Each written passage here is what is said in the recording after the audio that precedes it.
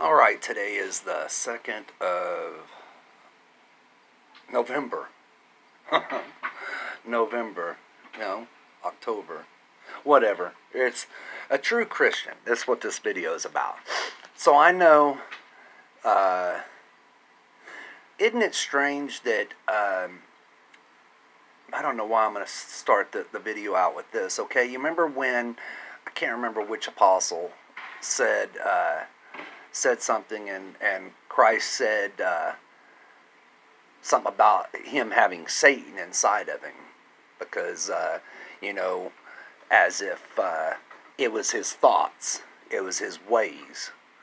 Believe me, your thoughts and your ways, most Christians are still of Satan.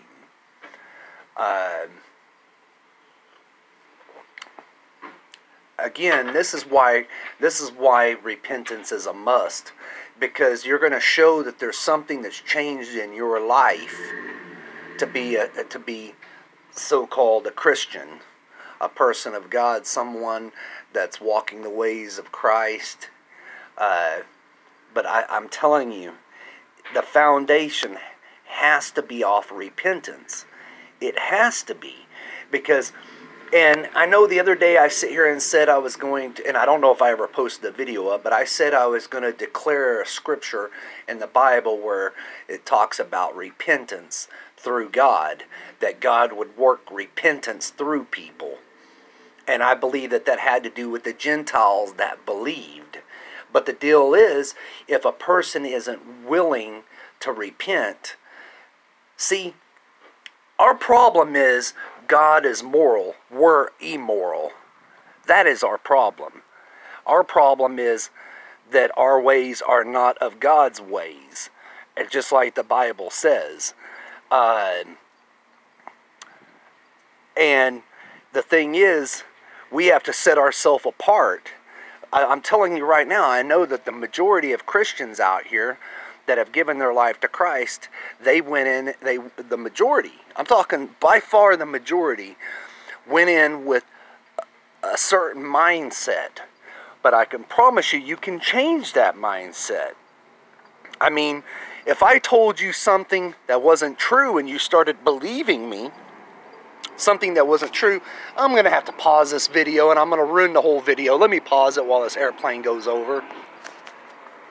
All I know is when it talks about crucifying the flesh and and that is our problem is that most people have not put their flesh to death every day. Literally i know that this is a thing that a person has to do every day. They have to put their flesh you have to do it daily. It's a thing that you know and and this is where i'm telling you my grandmother was right. I'm telling you when you do something wrong and you catch on to what you're doing wrong every day you you ask god for forgiveness right then and there. That way you know you're covered under the blood. I'm telling you you can get yourself in such a bad position that you're not living for god and you're not right with god. That is a problem. I mean those are the people that Jesus doesn't know in the end days are the people that are truly not living for him. And when you know that the church, the people out here is going to be a part of it because it's right there in his word, then you know that there's going to be a problem. And I'm telling you right now, we've got a problem because people are not willing to repent. People are, I mean, repent to us is the difference between what God repented of, the very first repentance was God, versus our repentance. Could you imagine how much things could have been different if Adam and Eve would have just confessed, would have just repented, done whatever they, the whatever they should have done at the start? Don't you? Could you just imagine? But see, God had a standard back then, and he still has a standard it is to this day he has a standard. Christ coming here didn't change as much as people think it changed. We god still has a standard. You guys are the ones out here that have said that this is the same god. And i know it's the same god. People are only fooling themselves knowing that thinking that they can be living a worldly life and be a part of god You know, one time in the church, people lived a different lifestyle. They didn't do the things that they're doing today, and there's a difference. There's a huge difference. The apostasy is happening, the falling away is happening. Why? Because of people's unsound doctrine, their beliefs, the way people are living their lives the traditions of men. You can go on and on. You were supposed to come out of her. You were supposed to be smart enough. People were. I'm telling you this right now. People that have died and will not inherit the kingdom, God has already forgot about them. If they haven't been judged, they'll be judged one day, cast into the lake of fire, and God will be done with it. Same position as me. Same position as you. You want to live for the flesh. I want to live for the flesh. We don't want to live for God. Guess what? We'll be cast into the lake of fire and we will be forgotten for forever. End of story. End of story. That is the end of story.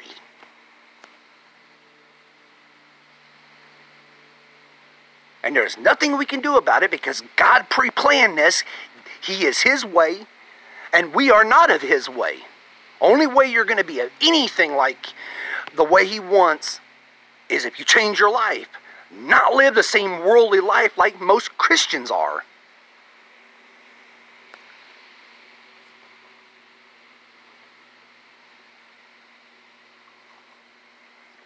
I don't think that's too hard to understand. I don't think that that's too hard to understand at all. But a true Christian is going to show that you're living for Him. You know, I, I know that God wants a personal relationship with people out here, but I don't think people have to go as far as having such a personal relationship as long as they're doing what He asks. But when most Christ, when most Christians out here don't have a personal relationship with Him, and they're not living for Him, that just proves something. That they that the truth isn't in them.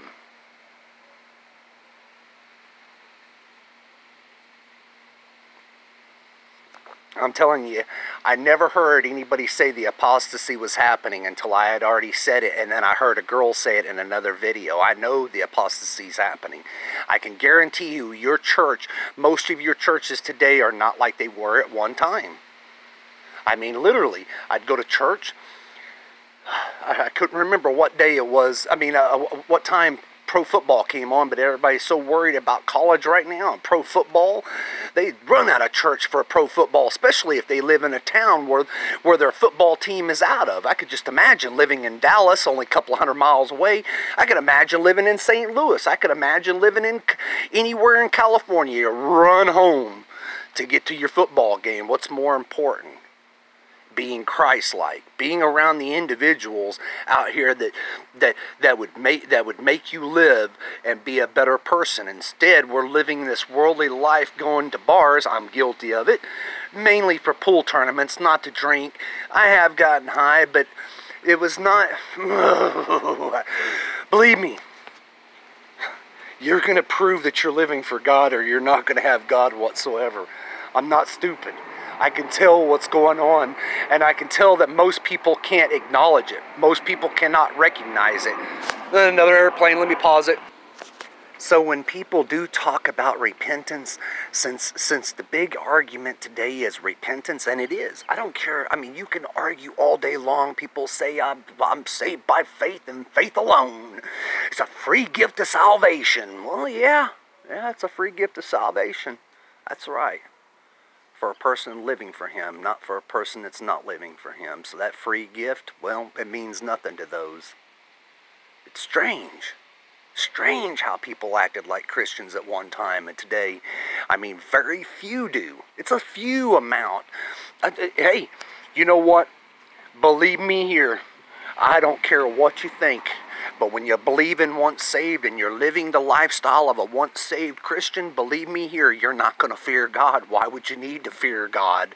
Why would you need to fear God if you believe all you have to do is believe and have faith? Boy, why would you need to fear God? Why would you need to repent?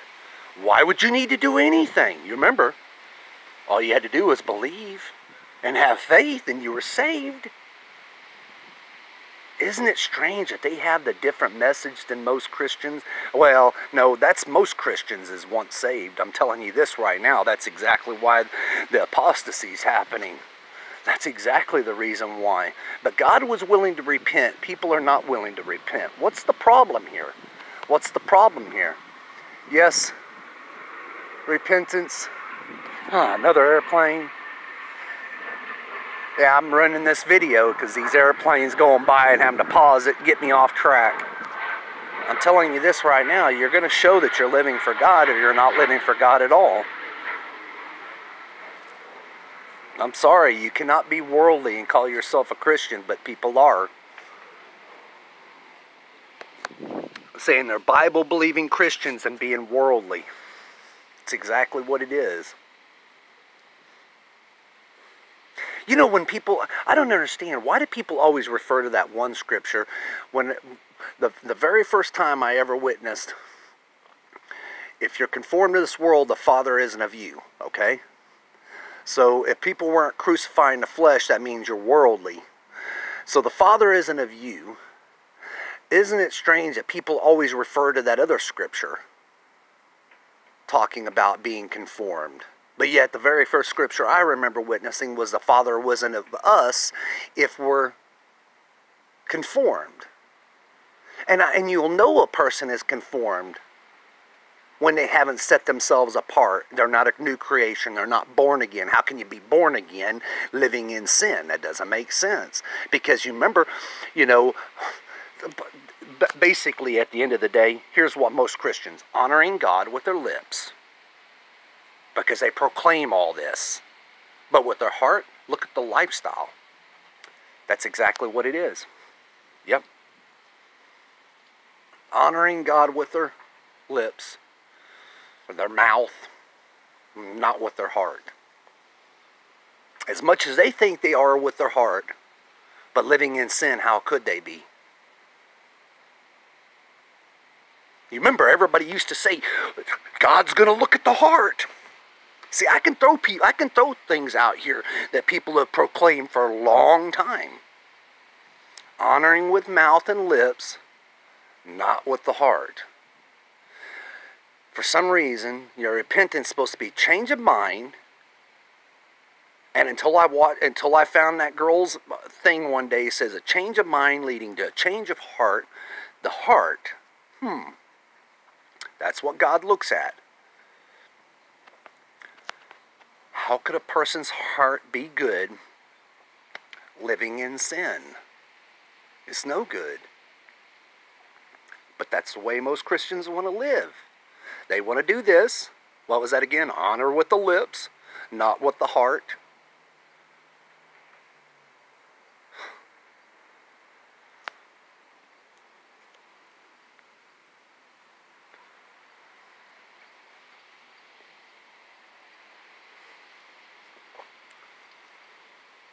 Believe me, a real Christian's going to walk away from all this crap and all this filth.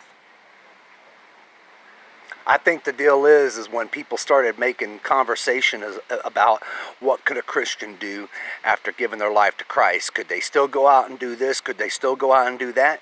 Well, they still want to do that. They still want to do that. They would still rather sit here and celebrate holidays of Satan I mean, Christians still take their children out to celebrate holidays of Satan. Halloween's coming up. What are they going to do? Celebrate uh, a celebration of Satan? How about the Easter, a celebration of Satan? How about Christmas, a celebration of Satan?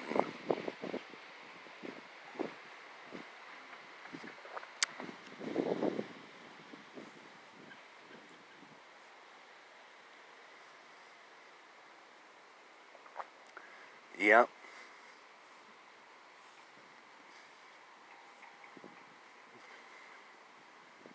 Everybody thinks they're celebrating Christ when it comes to Easter and Christmas. People say, oh, it's not important to know when Jesus is born. Well, yes, it is nice and important because you wouldn't celebrate it during December when Jesus was born in March. What were they doing in uh, at that time of the year when Jesus was born? They were taking care of the sheep at night. Why would they take care of sheep at night? They take care of sheep at night, lambs. When baby lambs are born, they take care, they watch the herd. It's exactly what it is. That's exactly. What were they doing? Look at your Bible. Look at your Bible. So everybody wants to worry about December, thinking things are going to happen in December. Things are going to happen in December. Why would anything happen in December when it has nothing to do with Christ at all? So with all those people out here professing something the rapture is going to happen in December, why would it happen in December? December has nothing to do with Christ. It's just another month. Oh, maybe a feast day during December. Forgot about that. I forgot there could be a feast day in December. Well, nothing's going to happen in December. I can promise you that.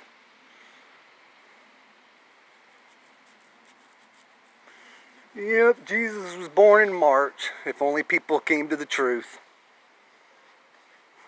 Why do you think he was the Lamb of God?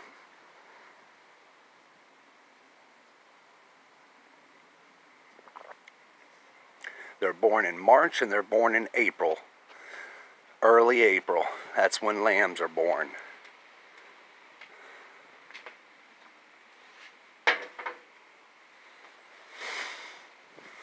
So it's not important for things, huh? Not important to know the truth. I know right now. Uh, I'm telling you, people are not willing to repent. They're proving that they're not of God. And like I said, for, for a fact, my next video today will be finding that scripture in the book of Acts talking about where God will work repentance. But how would a person, if a person were to, if God were to work repentance in someone and then they go back to their old ways, how would you get, how, how would you be, how would you be living for God if you call yourself a believer? I'm telling you, you're not going to walk around saying, I believe and be saved for, for the remission of sin except for your first time. You're going to repent. Just like Acts 2.38 versus Acts 10.43, I think it is, talking about believing for the remission of sin. That's only going to be a one-time deal. There's no way you can sit here and declare I believe and you're going to repent. That that means it's going to you're going to be in repentive mode knowing that you're not going to do the things of the world, the things that brought that made us evil in the first place. You think going out here and looking for promiscuous sex, being a, a Christian, is of God? How about cheating? How about drugs and alcohol? How about all this? All these things that so many people don't want to put an end to, don't want to crucify since all that stuff comes from the flesh. Every bit of it comes from the flesh and the sight. It's where sin comes from. And since sin isn't one certain thing, it's basically things against God, is what sin is. It's things against God that He does not that he eh, that he is not happy about with what we're doing in our lives. How could sin ever be cleared? I'm telling you this right now. I'll say it again. Jesus Christ did not come here and die for your future sins. You're gonna, if you're gonna live for Him, you're gonna live for Him, and you're gonna crucify the flesh. And when you know that you, when you know you're getting ready to do something wrong, you're gonna get to the point when you live a repentive life that when you get ready to do something, you're gonna catch on. The Holy Spirit's gonna convict you of it. I'm just wondering why so many Christians are not getting convicted. Could there be a reason why? How about the seared conscience, the reprobate mind, carnal mind, hardened heart? Isn't it weird for a person that's never read the Bible, all these things I know of? Isn't it really weird? And I'm not boasting or showing pride. Like I said, I know where I'm at in this position, in God's position right now. I know exactly where I'm at in His eyes. I'm wicked like the majority of people out here.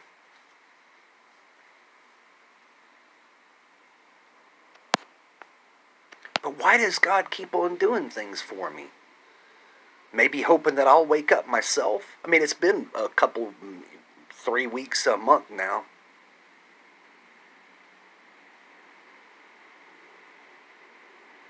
Oh, I take that back. A minute ago, I was another airplane. Get out of here.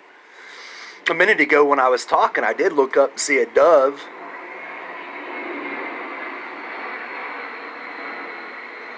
Don't know how many times I've made videos and I've seen doves flying around here while I make a video.